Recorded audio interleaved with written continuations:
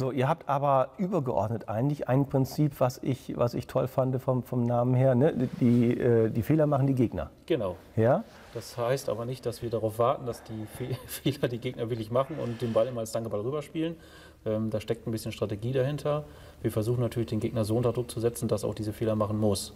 Mhm. Und ja, und da arbeitet man dann von Übung zu Übung einfach äh, an den Übungen. Ähm, heute Morgen haben wir es gesehen am Aufschlag.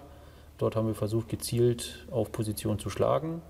Ähm, Im Spiel selber als Trainer fangen wir eigentlich einfach damit an, ähm, mit Fingern im Rücken zu zeigen, wo die hinzuschlagen äh, haben, um das auch im Spiel ein bisschen umzusetzen. Mhm. Und ja, die älter sie werden, irgendwann merken sie es dann selber, wo sie hinschlagen Ja. müssen.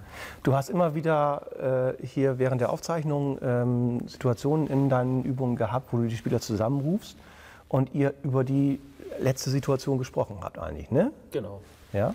Das heißt, die Spieler müssen mitdenken, oder? Ja, das verlangen wir von den Mädchen. Ähm, dann bringt das denen auch weiter. Die müssen ja verstehen, warum wir als Trainer was sagen. Und ähm, wir halten da viel von, Übung anzuhalten, die Leute oder die Mädchen schnell zusammenzuholen, das Thema kurz zu besprechen und dann gehen wir auseinander und versuchen das wieder abzufordern. Ja, das heißt, dieselbe Übung geht dann weiter. Dieselbe Übung Ne? geht weiter. Ne? Es genau. kommt keine neue Übung, sondern du sprichst Dinge an, die vielleicht noch nicht optimal waren, ne? erweiterst das Wissen der, der Spielerin und sie haben dann sofort wieder die Möglichkeit, das in, der, in derselben Übung nochmal wieder einzusetzen. Genau.